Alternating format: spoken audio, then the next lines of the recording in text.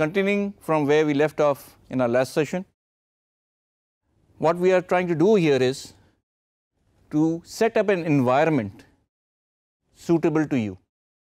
हम क्या कर रहे हैं? हम कोशिश कर रहे हैं कि वो इन्वायरमेंट आपको दें जिसमें आप काम करें जो कि आपके लिए सबसे ज़्यादा सहूलत पैदा करे।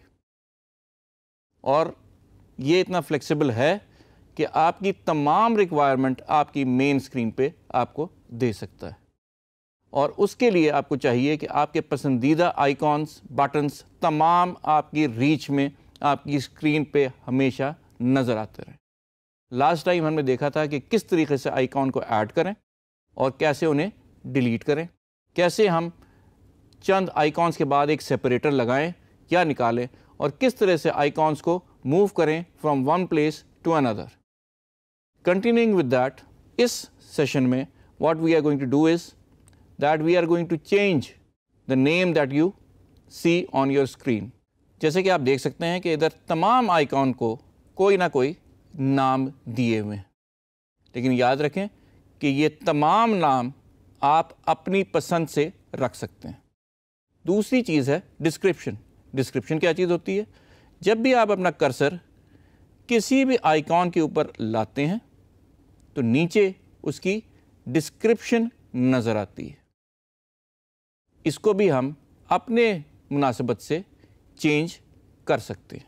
आइए ये देखते हैं कि हम इसे किस तरीके से कर सकते हैं।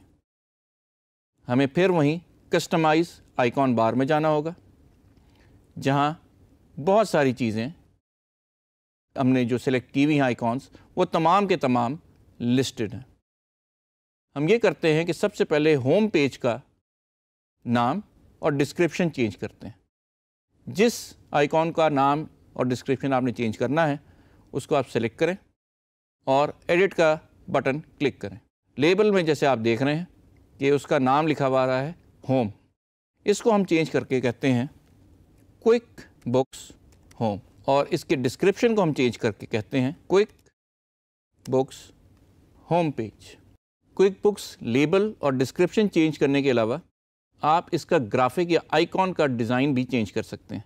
इस केस में let us make this icon for quick books home और इसके ऊपर जो आपको नज़र आ रहा है कि यहाँ एक आइकॉन बार डिस्प्ले ऑप्शन है, जिसमें लिखा है show icons and text yes we want to show icons and text as well let's save it and see whether the change has been made अब आप देख सकते हैं कि क्विक बुक्स होम्स का ग्राफिक डिज़ाइन उसका नाम और उसका डिस्क्रिप्शन तीनों चेंज हो गए हैं, जिस तरीके से हमने चाहा था in our next topic we are going to see how more to improve our environment thank you.